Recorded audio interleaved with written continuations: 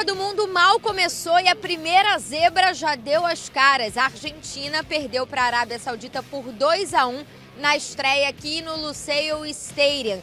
Messi fez o primeiro gol dele na Copa de pênalti no início da partida, mas no começo do segundo tempo os argentinos passaram por um apagão e a Arábia Saudita conseguiu a virada. A Argentina ainda teve outros três gols marcados na partida, mas os três acabaram anulados pelo VAR. A Argentina defendia uma invencibilidade de 36 jogos que caiu agora nessa estreia diante da Arábia Saudita. Ainda vai ter muita dificuldade pela frente nesse grupo, jogando contra México México e contra a Polônia. Na saída do estádio, o clima era o pior possível. Os argentinos que entraram cantando saíram cabisbaixo, não queriam falar sobre o jogo, mas ainda assim estão confiantes na classificação.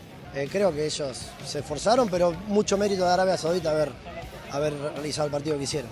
¿Va a clasificar? Sí, claro que sí va a clasificar. Ahora estamos esperanzados en los dos partidos que vienen. Sí, sí, Argentina gana. Gana contra México, contra Polônia e classifica. A expectativa era alta, afinal, em campo nesta terça-feira, para fechar o dia, estava a França, atual campeã do mundo. Mas o susto também foi grande, já que a Austrália abriu o placar. Os franceses conseguiram melhorar no jogo, deram a volta e golearam os australianos, liderando agora o seu grupo na Copa do Mundo, já que a Dinamarca acabou empatando com a Tunísia. Destaque para a atuação de Kylian Mbappé. Agora, um ponto negativo foi o, a contusão de Lucas Hernandes, que deixou o campo machucado e agora vira uma dúvida para o técnico Didier Deschamps. A verdade é que nos arredores do estádio Al Janub nós conversamos com alguns torcedores franceses e olha que os caras estão bastante confiantes.